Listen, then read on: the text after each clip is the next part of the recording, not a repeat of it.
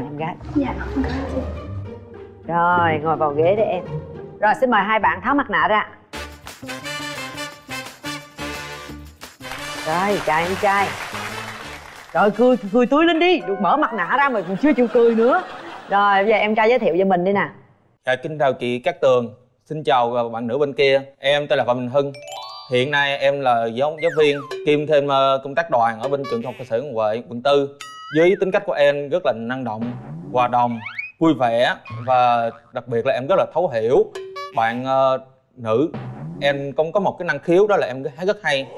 Nên là nếu ờ, chương trình cho phép thì em xin được hát ở đây Như một lời hò hẹn với bạn nữ bên kia. Rồi trước nhưng mà trước khi hát thì cũng phải giới thiệu rõ ràng ngày tháng năm, năm sinh nào quê quán Dạ. nữa chứ đúng dạ, không? ok. Thì em sinh vào ngày 29 tháng 1 1990 quê em ở ờ, tiền ờ, tiền giang. Chị rất cần biết là tiền giang thì gạo trắng nước trong. Ừ. và ai đi đến đó thì lòng không muốn về. Rồi hay quá. Nhưng mà trước khi hát thì cũng phải biết mình đang hát cho ai nghe nữa chứ. Mình phải hỏi bạn gái Dạ. bên kia tên gì. Rồi mời em gái giới thiệu. À, em chị chào chị Cát Tường. Em chào anh bên kia và xin chào mọi người. À, em tên là Trần Thị Hải Vân.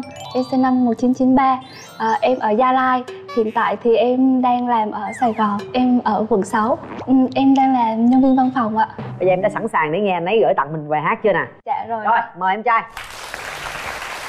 Em hay hỏi anh rằng anh yêu em nhiều không? Anh chẳng biết trả lời thế nào để đúng với cảm xúc trong anh. Khi anh nhìn em là anh biết em cái cực anh là quá khứ và cả tương lai là hiện tại không bao giờ phải tình yêu trong anh vẫn luôn thầm lặng nhưng không có nghĩa, không rộng lớn. Và đôi khi anh khó nói nên lời, mong em hãy cảm nhận thôi. Cao hơn cả núi, dài hơn cả sông, rộng hơn cả đất xanh hơn cả trời. Anh yêu em anh yêu em nhiều thế thôi. Dù có nói bao điều hạnh phúc trong anh bây giờ có lẽ hơn cả yêu. Một buổi trò chuyện rất sức là phấn khởi, đúng không em? Thấy như vậy là tâm trạng ta thấy, cảm thấy là vui rồi. Đã cho nhau những cái năng lượng rất là tích cực trong một cái ngày mới, đúng không ạ? Rồi, cảm ơn em. Một bài hát rất là đặc biệt, rất là hay ha à, ủa nãy em nói em làm thầy giáo đúng không ạ Dạ. em dạy môn gì Dạ em dạy môn lịch sử của ờ, cấp 2 và dạy khối uh, 6 6 7 ạ. chắc thầy giáo vô lớp cũng hay hát cho học trò nghe lắm phải không Dạ thưa chị, sự yêu đời sẽ giúp cha tự tin hơn trong cuộc sống. Điều đó cũng sẽ giúp cho học sinh sẽ ngày càng có sự phấn khởi hơn trong ờ, công việc, trong học tập của mình hàng ngày. rồi vậy em nghĩ điểm mạnh và điểm yếu của em là cái gì Điểm mạnh của em đó chính là sự hòa đồng, sự tự tin, sự năng động và hơn hết đó là sự thấu cảm đối với đối phương. ừ. và điểm yếu của mình đó là do em một số cái công việc vừa là công tác ờ, chuyên môn đó là dạy môn lịch sử bên cạnh đó em còn dạy thêm là còn làm tác tác, tác đoàn thế thì ờ, em ờ, lâu lâu thì em cũng ờ, nhiều việc để mà khó sắp xếp một cách hoàn hảo nhất tuy nhiên nếu em có bạn gái thì em sẽ sắp xếp một cách hoàn hảo nhất để có thể đến với bạn gái và có thể tâm sự với bạn gái. Ngồi chút bữa này. Rất rõ ràng mạch lạc. Trước tiên em phải cho chị cảm nhận sau khi nghe anh hát. À, em thấy anh ấy ờ, rất là vui tính nói chung là em rất là thích cái kiểu người mà cũng năng nổi như tình thẳng thắn. Chị nghĩ quen với anh này là em cười không chứ em không có giận được đâu. Là mình thấy là vui liền đúng không em? Dạ. Rồi bây giờ điểm mạnh điểm yếu của em là gì nè? Dạ điểm mạnh của em là nhẹ nhàng trong cái cách xử lý công việc hàng ngày cũng là một điểm yếu của em luôn. Kiểu như thế này thì khiến cho em gọi là cảm giác bị cả nể dẫn đến vấn đề nó sẽ không được giải quyết một cách dứt khoát. À, em cũng khá là tin người dễ bị lừa. Có bị lừa cú nào đau chưa? Mấy cú. Chắc là cũng có thấy chưa? Cuộc sống mà nó như vậy đó Yeah. Thì có mình có bị lừa thì mình sẽ ờ, rút kinh nghiệm lần sau mình sẽ tốt hơn. Em cũng là một người khá là tham công tiếc việc với lại ở đây em chỉ ở với em gái nên là thành ra là em dành hầu hết thời gian của mình cho công việc. Ừm, nhưng mà chắc chắn là trong tương lai khi có gia đình thì em sẽ phải cân bằng cái đó và hùng phải, hồn giống như anh này nói lúc nãy vậy đó đúng không? Sắp xếp. Em không biết là có thể sắp xếp được hoàn hảo như cách của anh không nhưng mà chắc chắn là em sẽ sắp xếp tốt nhất có thể để ưu tiên cho gia đình hơn. Ừ, rồi hai bạn cũng cùng chung một chí hướng với nhau. Thật ra mình là tuổi trẻ mà. Bây giờ thời buổi là năng động nữa. Thì nữa chúng ta cũng phải làm việc tăng hết sức lực để mà cho tương lai của chúng ta sau này cho cái máy ấm của chúng ta sau này đúng không em? Dạ. Thế thì à, về tình trường sao nè thầy giáo? À, dạ thưa chị Cát Tường cũng như các bạn nữ bên kia. Thế thì ờ, tình trường nhớ bạn nữ bên kia tên gì không? Dạ em quên. À, thấy chưa? Hỏi lại đi nè thầy giáo. Ờ, em tên gì anh ơi? Dạ em tên Vân em tên À, Hải Vân. Vân. Hai hai phân rồi Dạ. nhớ Dạ. nha không quên nữa nha. Thưa chị Cát Tường ờ, thưa chị thưa bạn Hải Hải Vân thì ờ, anh thì ờ, nói chung là anh đã có ba mối tình. Ừ. thứ nhất là mối tình ờ, kéo dài có thể sâu đậm nhất đó là mối tình đầu tiên kéo dài đến tận 7 năm trời. Tuy nhiên thì tính cách của bạn này thì cũng giống như là khá hung dữ.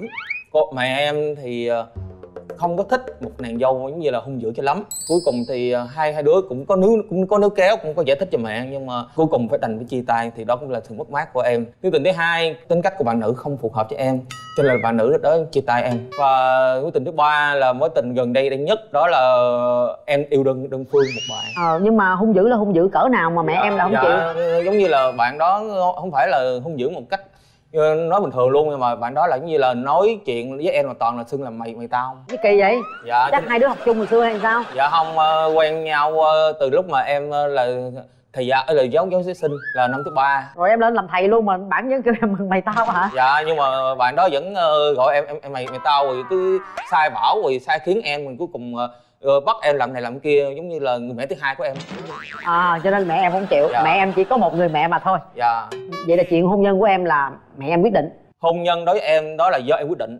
Nhưng mà mẹ em sẽ là người tư tư vấn cho em. Bây giờ rủi như em tiến tới mối tình thứ tư này mà em ok hết rồi bạn đó ok luôn mà dẫn về mẹ em không chịu. À, không. Vì một cái lý do dạ. gì đó nó không hợp với mẹ em một cái gì đó thì em tính sao? Dạ không ạ. Mẹ em thật ra thì cũng rất là hiểu ờ, chuyện rất là tâm lý Kiểu như là mất là hỗn láo mất dạy lắm thì em mới chấp nhận thôi. Mà nếu mà hỗn láo mất dạy em quen chi? Đúng không thầy giáo? Dạ mà tại vì ờ, càng về sau mới lộ lộ ra cho nên à, à Dạ. mới đầu là trong không lộ một Dạ. chút xíu nào mới lộ. Dạ. ủa vậy là hiện em đang sống với mẹ hả? Dạ em sống với đình gia đình em ạ. Hiện tại là có ba có mẹ và có em trai của em. Ba làm gì mẹ làm gì? Dạ thưa chị Cát Tường ờ, và và bạn Hải Phân Thì ba em là làm ờ, trưởng khoa dược của Đại học Y Dược Hồ Chí Minh Dạ. Quá dữ mẹ. Dạ, dạ mẹ em là phó phòng giáo dục đào tạo quận tư. Trời ơi dạ. gia đình có điều kiện quá vậy? Dạ. Cái này giàu có à nha này dám đại gia lắm à nha. Dạ. Trời ơi ghê quá ghê quá. Rồi bây giờ thí dụ lấy vợ rồi có làm là vợ có làm dâu không? Dạ thưa chị cũng như là bạn bên kia bạn Hải Vân. Thì ờ, đối với ờ, em chuyện hôn nhân nếu tiến được với nhau do hai vợ chồng cùng bàn bạc quyết định đối với gia đình em thì cũng không khó cho lắm. Nếu ờ, gia đình bạn Hải Vân mà chấp nhận là cho em được ở rể thì em vẫn chấp nhận. À. Không thì hai đứa có thể làm gia đình riêng. À. Hoặc là nếu như bạn vẫn muốn về gia đình để có thể chăm sóc gia đình hai bên thì vẫn có thể chấp nhận được. Rồi nếu ra riêng rồi có có Dạ, tích thưa- lũy có nhà cửa đã dạ, có dạ, chưa? dạ thưa thưa chị thì ờ, em nói cũng nói thật là bây giờ á em ờ, ngoài công việc là thầy giáo thêm một cái căn hộ cho thuê cũng như là em là thành viên của cổ đông của hội đồng ờ, của công ty dược ở Sài Gòn của ba em. Em cũng có thêm một kinh doanh một số mặt ngành nghề khác. À, thì ờ, em thì một tháng em là khoảng 16 đến 20 triệu. Em chủ động là em đã mua được một căn căn nhà. À cái nhà đó là tiền riêng của em em Dạ, mua đó chứ rồi. không phải là ba mẹ cho Dạ. phải không? Hay quá thầy giáo thật là chủ động trong công việc. Mời em gái giới thiệu à, về tình duyên của mình Ờ, em cũng trải qua ba mối tình. Ừ. Ờ, mối tình đầu tiên là hồi em đi học đại học là cũng kéo dài 4 năm. Mối tình thứ hai cũng 4 năm. Số 4 có vẻ hợp với em quá vậy. Còn mối tình thứ ba thì thực ra cũng chỉ mới quen được một thời gian ngắn thôi. Thì thông qua cái mối tình đó em cũng mong muốn tìm ở người bạn trai của em bù lại những cái gì đã qua. Rồi thế bây giờ em mong muốn tìm một người bạn trai như thế nào em mong muốn tìm một người bạn trai cao chưa hơn em là được rồi. Người đó phải giàu có về mặt tình cảm ừ. giàu về sức khỏe và giàu về ý chí. Giàu có về tình cảm thì là chị nghĩ là anh này có giàu có mà về sức khỏe thì trời ơi ta ba mẹ người ta làm trong ngành y không à? Là quá khỏe rồi. Dạ. nhiều khi anh này là còn giàu có về kinh tế nữa. Đó cái đó là một cái vấn đề cũng rất là quan trọng. Đôi lúc nhiều khi có những cái nó chưa được nhưng mà tiền nó được thì thôi kệ nó cũng du di nó qua hết á em. Ví dụ giờ yêu nhau nè muốn đi này chị nói nghiêm túc ai chửi tôi tôi chịu. Bây giờ mình muốn đi chơi để tìm hiểu nè muốn đi du lịch nè. Nói nói vậy đó mà giờ không có tiền lấy đâu đi đúng không? Cơm lo ngày ba bữa chưa xong thì làm sao có cái thời gian để mà lãng mạn để mà thư giãn để mà tập trung để tìm hiểu được yêu cầu của em sao? Bạn gái như thế nào? Ờ, ngoại hình thì cũng ờ, chỉ cần dễ nhìn thôi không cần ờ, quá xinh đẹp. Bởi vì nhan sắc thì ờ, của người phụ nữ thì chỉ có trong thời thanh xuân. Thứ hai đó là một người phụ nữ thật hiền diệu và biết quan tâm gia đình hai bên. Như vậy là đủ ạ rồi ok. Bây giờ có hình ảnh không rồi tôi coi coi. Ừ, rồi em tìm xem thử coi. Trời ơi sao mà đông quá vậy? Có dễ lắm hai cô chọn một.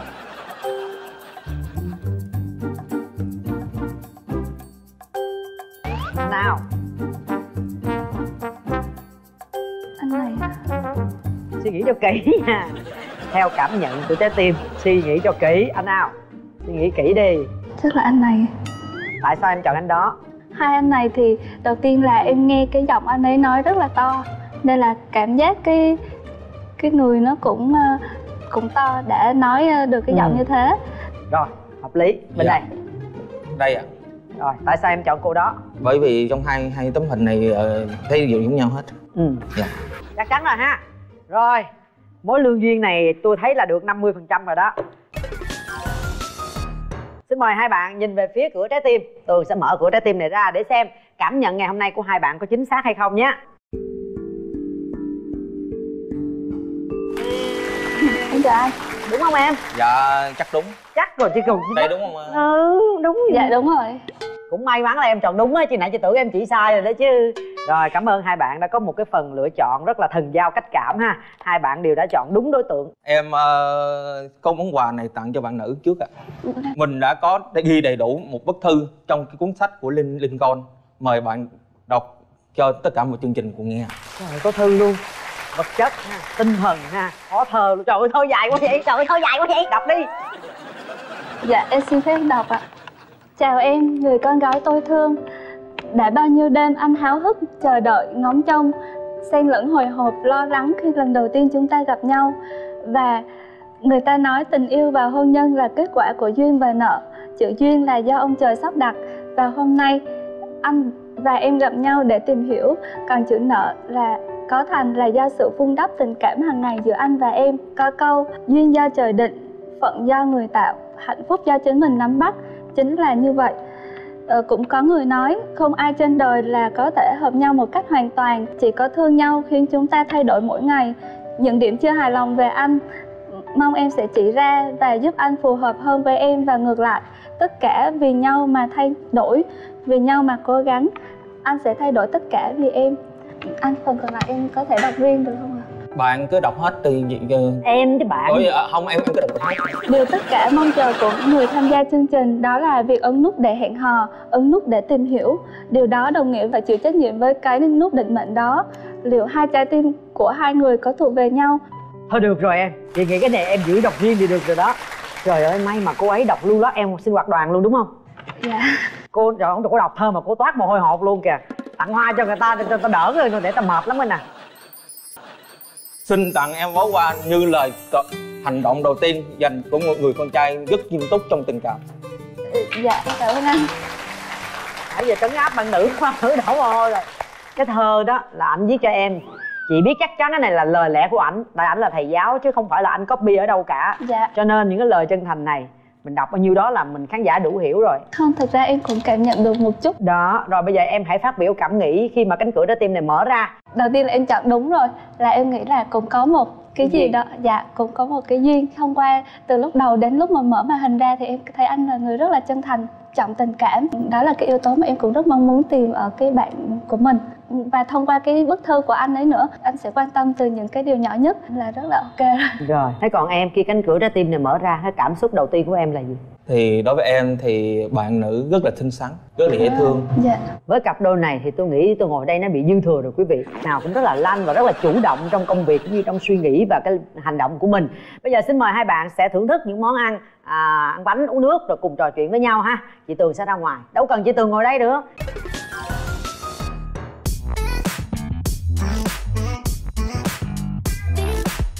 rồi bây giờ chị tường mời hai bạn ha. Vừa ăn bánh vừa uống nước vừa trò chuyện với nhau. Rồi ít phút nữa chị tường sẽ quay lại.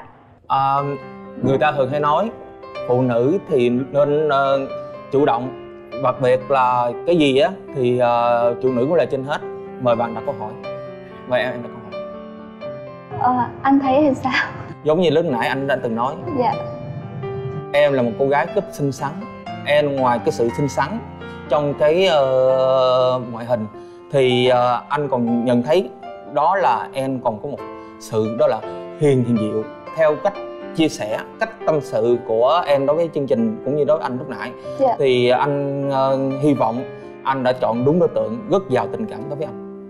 Dạ em cảm ơn anh. Em cũng thấy anh rất là uh, giàu tình cảm rất là về tiêu chí mà em đặt ra trong đầu em á. Anh phù hợp hết giàu tình cảm thẳng thắn và rất rất biết quan tâm đến người khác anh nói công việc của anh là khá là bận đúng không ạ? À, mình chỉ bận khi mình chưa có người yêu.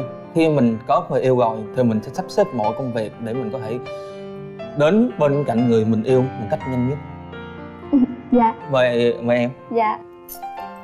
Em uh, hiện nay là em làm ở văn phòng ở uh, công ty nào? Dạ em đang làm ở ngân hàng techcombank ạ anh rất thích những mà em làm vùng nào? À dạ em làm bên hỗ trợ khách hàng doanh nghiệp. Đối với anh á? Dạ. À, nếu như uh, một người uh, bạn gái cũng như là một người yêu sau này hoặc là tiến tới là người vợ mà thường họ làm ở ngân hàng thì điều đó chứng tỏ là cô ấy rất tính toán. Ở đây không phải tính toán trong cái việc đó là chi tiêu mà tính toán ở đây đó là việc sử dụng tiền một cách hợp lý. Yeah. Dạ. và đó cũng là một những yếu tố mà có thể là phụ nữ của gia đình cũng cần phải nên học tập để mà cũng như là có thể khi mà hai hai chồng sau này tiến tới với nhau thì cái vấn đề như là anh sử dụng tiền như thế nào về các khoản vân vân thì sẽ có một người vợ hỗ trợ cho anh để mà có thể tiêu tiền một cách tiết kiệm hợp lý nhất. Tại vì công việc của em thì cũng khá bận nhưng mà khi mà em quá bận như vậy á thì anh có thể thông cảm. À không sao. Công việc của anh cũng ờ, thứ nhất là cũng bận. Mình có rất nhiều cách để mình có thể hò hẹn chứ đâu phải là chỉ duy cách duy nhất là phải trực tiếp gặp nhau ở đây. Dạ. Sau chương trình này mình có thể là mình sẽ chủ động cho nhau một cái zalo hoặc là một cái số điện thoại hoặc là một cái facebook nếu được. Và anh biết ở đây biết một chi tiết nữa đó là ngành ngân hàng. Thường cái này đối với anh thôi nha. Thì uh, anh biết một chi tiết nữa là hình như là bốn một năm giờ chiều đã tan tan tan tan sở và gia đình anh rất là dễ. Đi đi chơi coi như là ờ, cũng không có nghề hà về giấc cho nên là bạn em cứ yên tâm. Nhưng mà em bốn năm giờ em vẫn chưa xong việc á em làm đến 8 đến 9 giờ. Ok mình có thể hò hẹn nhau đến uh, 10 10 11 giờ cũng được. Dạ thì nói vậy thôi chứ chắc chắn là mình sẽ phải sắp xếp để sớm hơn chứ không thể để trễ như okay. thế không nói chuyện yêu đương đi nói chuyện công việc không hả dạ. rồi bây giờ mời hai bạn chơi một cái trò chơi nhỏ của chương trình nha. Mỗi bạn sẽ bóc một cái lá thăm và đọc lớn lên yêu cầu của chương trình ở trong này rồi chúng ta sẽ thực hiện theo. Rồi bạn gái đọc trước đi nè. Bạn trai hãy thể hiện một hành động lãng mạn mà bạn gái yêu cầu. Rồi em đọc thử của em coi nè. Khi gặp một đối tượng khác phái bạn chú ý điểm gì ở ngoại hình người ấy đầu tiên? Bây giờ à, bạn gái yêu cầu bạn trai làm cái gì nè? Em muốn yêu cầu anh ấy làm cái gì? Một hành động lãng mạn hả chị? Ừ hay ờ, hay ờ, nếu em em em cho phép thì anh sẽ chủ động làm chuyện đó giùm em. Dạ. Em cho phép anh mượn đôi bàn tay của em. Em đứng lên giùm anh. Em hãy nắm chặt đôi bàn tay của anh. Anh có thể sẽ không được về ngoại hình trong mắt em. Nhưng anh nói thật với em rằng tình cảm của anh dành cho em là những cảm xúc chân thành nhất hãy trao cho nhau cơ hội để yêu thương. Hãy trao cho nhau cơ hội để hò hẹn. Anh nguyện anh sẽ nắm giữ đôi bàn tay của em đến suốt cả cuộc đời em nhé. Rồi tụi lẹo quá vậy. Xong còn phải để cho người ta cảm nhận cho dạ. buông tay ta. Cái rụp con đi vậy không trời ơi thiệt tình á.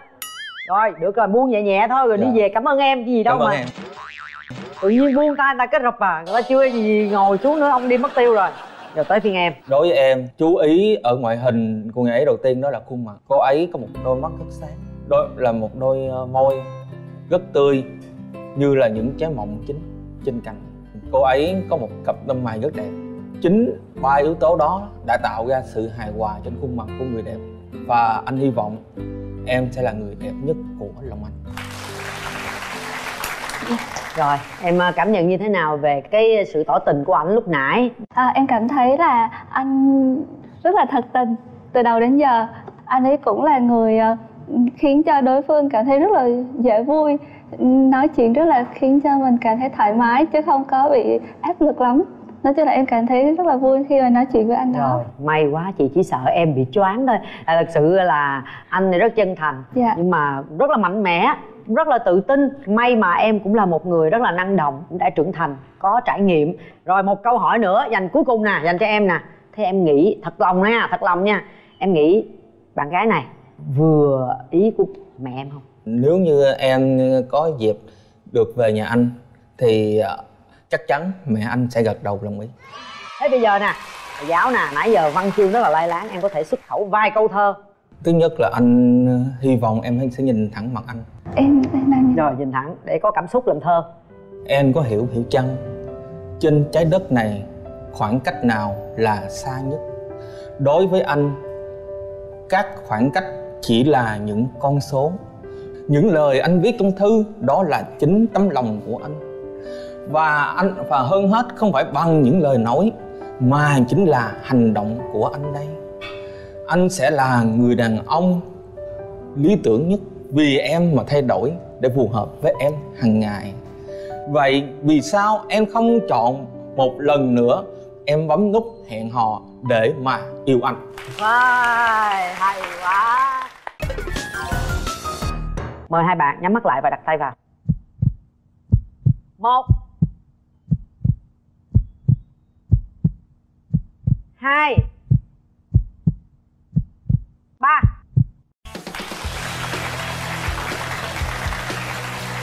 Hết thời gian. Thở ra quá. Em Trời tưởng cô không bấm em? Nếu mà cô không bấm thì em nghĩ sao? Em ờ, vẫn chấp nhận để mà giống như là sẽ có cơ hội ở bên bên ngoài để có thể gặp gỡ và tiếp xúc nhiều hơn. À có nghĩa là vẫn không bỏ cuộc. Dù Dạ. cổ không bấm ra ngoài em vẫn đeo đuổi cổ. Dạ, hay đúng. quá một thằng chàng trai rất bản lĩnh. Trước tiên là nắm tay nhau đi hai bạn. Chào chị ạ. À, Dạ, dạ.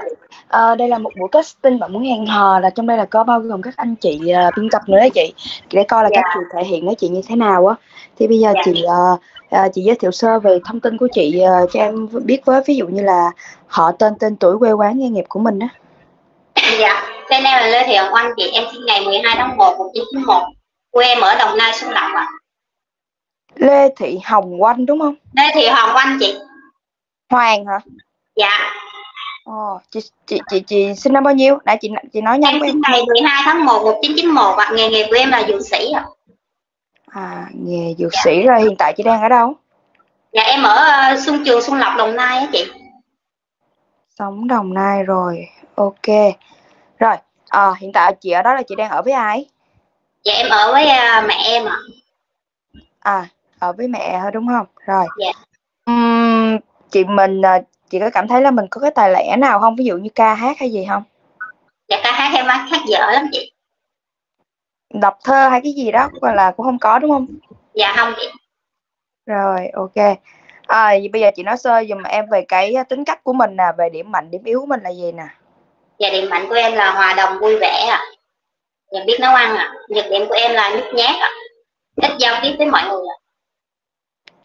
Hòa đồng, vui vẻ, biết nấu ăn nè, mà nấu ăn ngon không ta? Dạ, em nấu ăn cũng được. À, bình thường là chị ở nhà chị nấu ăn cho mẹ chị đúng không?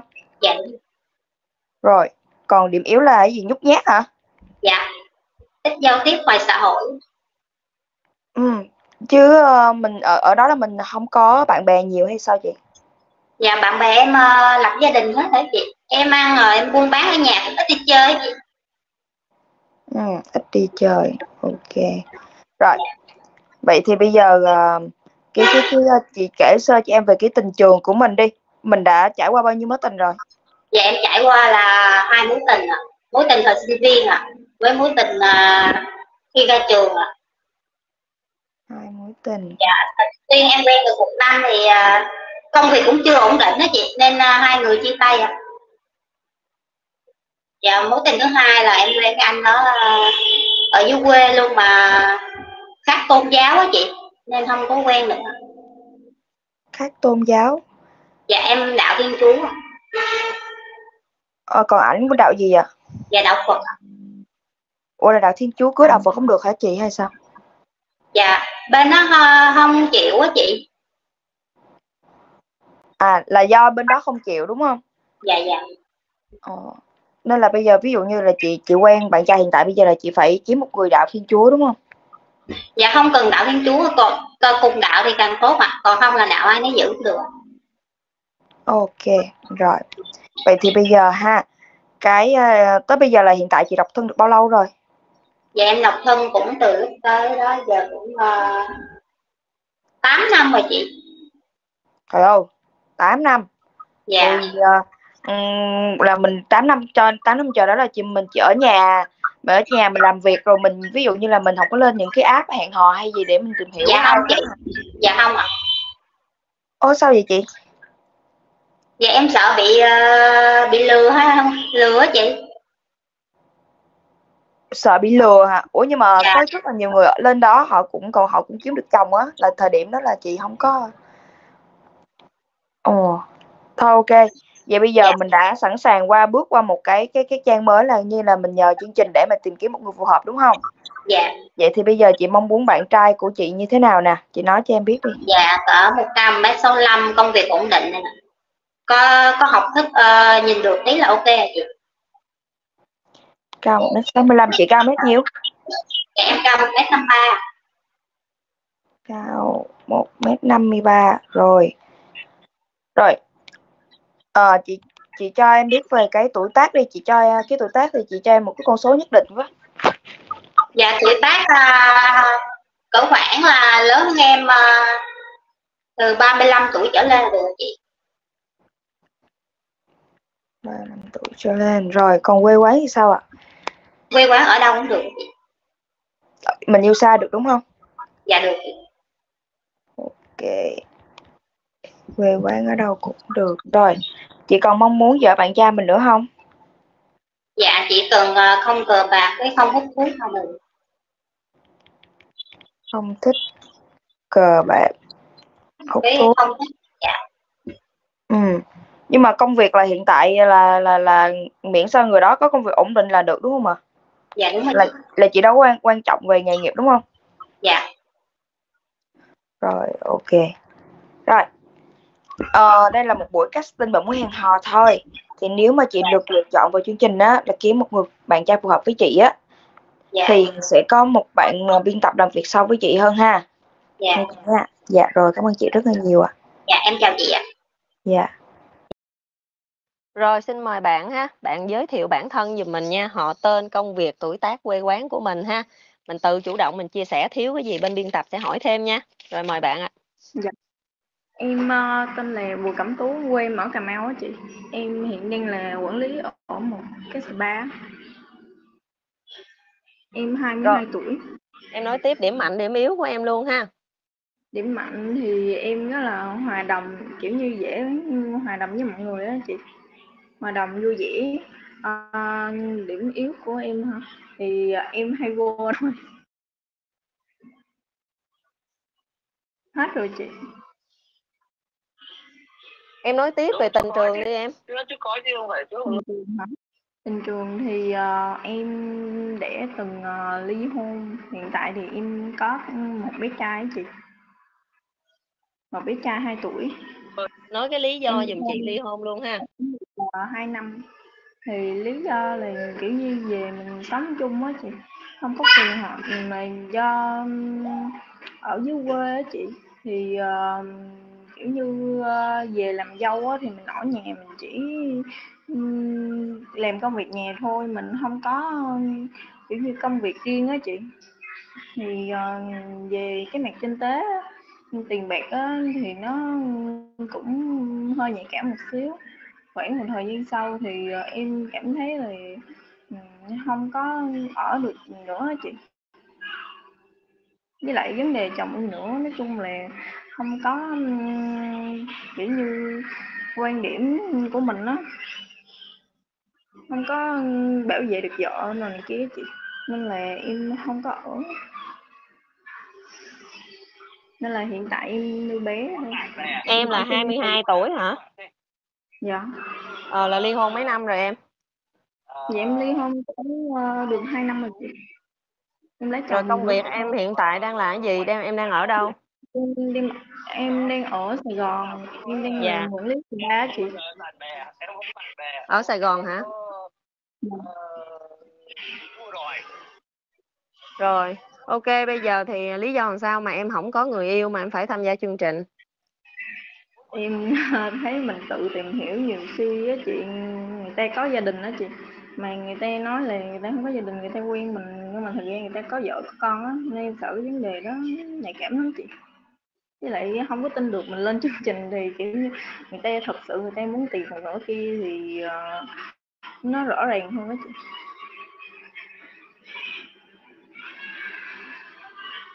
rồi bây giờ em thích tìm một cái hình mẫu như thế nào? Em chủ động chia sẻ đi em về bản thân em về mọi thứ đi ha. Điểm mạnh điểm yếu rồi lý do mình tại sao không tìm được người yêu. Dạ. Chị thấy em hơi ít nói á Ờ, em em đừng có chờ chị hỏi từng câu từng câu. Có nghĩa là tự em chia sẻ về bản thân đi những cái quan điểm sống rồi à, lý do làm Công sao việc lấy chồng sớm vậy đó vậy vậy đó. Nói chung là lấy chồng sớm là ờ, ở dưới quê chị thì ờ, em người miền Tây mà nói chung là con gái lớn thì người ta gả thôi. Chứ không có đợi hai mấy hai mấy ở dưới là ế rồi.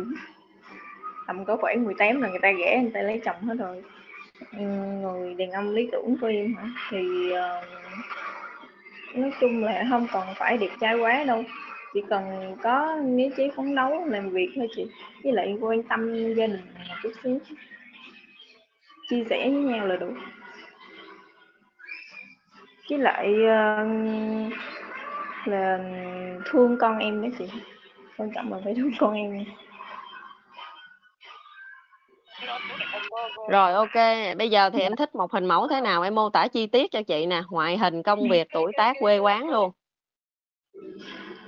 Quê quán quê quán ờ, thì ở Sài Gòn hoặc là quê ở miền Tây thôi chị. Em không có thích người ờ, Bắc đó chị. Lý do là rồi gì nữa? Em ừ. công việc thì ờ, văn phòng hay là nói chung là kinh doanh đồ này kia với chị. Người ta có công việc ổn định. Đó.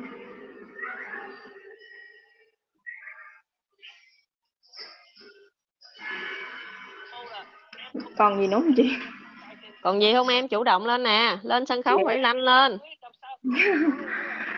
Thì ờ, spa ờ, quản lý spa là em em biết massage đồ không? Dạ không em bên điều trị á chị chứ không có bên massage body hay gì hết. Ờ vậy hả? Ờ. dạ. Rồi bây giờ con cái đang ở với ai? Anh đó đang ly dị đang nuôi con được hay không? Dạ không chị em không cho liên lạc luôn. Chỉ một mình em nuôi thôi. Bé thì đang ở trên này với em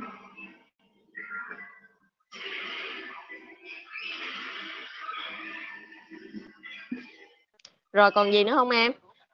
Dạ không chị. Thôi rồi được rồi. nếu mà chương trình chọn á, thì chắc liên lạc lại nói chuyện với em sau ha. Nhưng mà nói như vậy là rất ít luôn nha. Dạ. Ờ phải nói nhiều hơn chia sẻ về nhiều hơn người ta mới biết người ta hợp với em hay không chứ em không nói sao biết em như thế nào. Đúng không? Dạ. Ừ ha. Rồi Dạ. ok vậy nha. Ừ rồi Dạ. chào em. Cảm ơn chị rồi xin mời bạn giới thiệu họ tên công việc tuổi tác quê quán của mình trước nha. Rồi. À, mình à, họ tên là Cao Thị Mạnh. Đó là quê quê thì ở à, Tân Trụ Long An. Dạ. Mình sinh năm bao nhiêu ạ? À, sinh 1970 dạ. Mình công việc là gì á chị? Cái công việc bây giờ đây hiện giờ là giờ mình đang làm à, cho quán à, ăn ở Đà Lạt à, nấu quán ờ, là mình mình phục vụ quán hay dọn dẹp hay làm sao ạ? Cái này là à, vừa nấu luôn. Nấu à, phục vụ luôn. Là kim hết tất Ừ. cả đó. Là Ồ, công vậy là- mình. Ủa vậy là quán là quán của mình hay quán của ai? Mình làm cho người ta hả? Nên là có em dâu. À mình nấu là nấu bán gì đó chị? Nấu món gì vậy? Ờ, phở thấu đá mà bạn ơi à cái gì chị? Quán phở thấu đá. À phở bán phở hả? Đúng rồi. Ừ. Rồi chị chia sẻ một chút đi. Thấy đầu tiên là nấu ăn ngon rồi nè. Còn gì nữa nè? Điểm mạnh gì nữa không? Nữ công gia chánh chắc ngon lành hay may vá gì được không? Nói chung là trước kia thì mình có làm công nhân à, may của công ty An Phước á. Ừ. À, An Phước ở Tân Bình á thành phố Hồ Chí Minh. Ờ, sau này à, hai năm năm 2000 là mình nghỉ ra nghỉ công việc rồi tại vì cái sức khỏe nó không phù hợp được nữa. Cho nên là phải nghỉ. Nghỉ thì giờ là đi lên Đà, Đà Lạt để làm với em dâu. Ừ. Em dâu mở quán ở trên này nói chung là quán phở thố đá của em dâu mình là nổi tiếng à, nhất Đà Lạt là nay cũng gần 10 năm rồi. Nên là rồi ok. Ừ, dạ. Ờm, chị nói một chút đi đường tình duyên của mình thì sao ạ? À, nói chung là cái nghe đường tình duyên của mình thấy nó nó lặng lặng quá. À, tới à, năm 30 tuổi mới có gia đình mới có chồng sống được 10 năm. Sống với nhau được 10 năm rồi cũng chia tay. Thì, à, một thân một mình mình lo hết từ A tới Z. Giờ con thì ở với mình mình có một đứa con con thì giờ nay con trai nó cũng lớn rồi cũng được 22 tuổi rồi. Ừ. Ừ, rồi à, nói chung là cũng có nhiều người nhưng mà cảm thấy nó, nó không có phù hợp. Người ta thương mình được thì người ta lại không thương con. Nó có cái khó khăn là cái chỗ đó. Nên là giờ mình nó theo kiếm những người mà người ta có thể là hiểu mà dễ thông cảm. Khi mà đã chấp nhận đến với nhau thì phải người ta thường nói mà thương mẹ thì phải ẵm con. Chứ chứ thương mẹ mà không ẵm con thì cũng không được. Nói chung là thì mình à, vậy còn về cuộc sống thì à, quê thì tê tiếng là quê thì ở Long An nhưng mà bây giờ hiện mình thì bây giờ mình sống chung với cha mẹ nuôi thôi. Chứ cũng không phải là cha mẹ ruột. Cha mẹ mẹ ruột thì mất rồi mẹ ruột mình thì mất từ năm mà mình mới có 18 tuổi dạ. Ừ. rồi chị ơi bây giờ chị muốn tìm người như thế nào? Chị mô tả giùm em đi ngoại hình công việc tuổi tác quê quán luôn ạ. À thì nói chung là mình thì mình cũng người thì mình thích được cái những dạng người ở miền Tây hơn. Ừ. tuổi á, thì nói chung là người đó phải chững chạc nói chung là phải dễ thông cảm chứ còn nhỏ tuổi hơn đó thì mình cũng không người lớn lớn tuổi một chút hơn mình. Để người ta có thể nhưng mà công việc người ta cũng phải mình thì cũng không có đòi hỏi gì cao. Đấy, nhưng mà người đó nói chung là phải có trách nhiệm. Thì khi mà thương chấp chấp nhận một người mẹ đơn thân thì cũng phải là ai đều cũng phải có con thì cũng phải chấp nhận nó như vậy. Chứ còn thương mình không thương con thì mình cũng không chấp nhận. Ừ cho nên là nếu giả sử như thương mẹ mà không thương con thì thôi thì mình thà mình ở như vậy cho nó nó, thoải mái. Còn thật là người ta có có con cũng vậy thôi thì mình đối với mình thì con người ta cũng giống như con mình. Tôn trọng lẫn nhau. Dạ rồi. Chị um, chị theo chồng được không chị? Dạ. chị đi theo chồng được không? À, thì nói chung là chồng mình đã chấp nhận khi mà đã lấy chồng thì phải đi theo chồng thôi. Chứ chấp nhận thì khi là ở với nhau chồng người vợ ở đâu thì chồng ở đó. Nó là vậy. Mới mới mới, là gọi là vợ chồng với nhau. Chứ còn mà Ok. đã là vợ Dạ. chồng mỗi người mỗi nơi thì cũng không được. Rồi ok chị. À, nếu mà được chọn chương trình sẽ liên hệ rồi nói thêm nha rồi rồi. Cảm ơn. Ok. Chị dạ. dạ.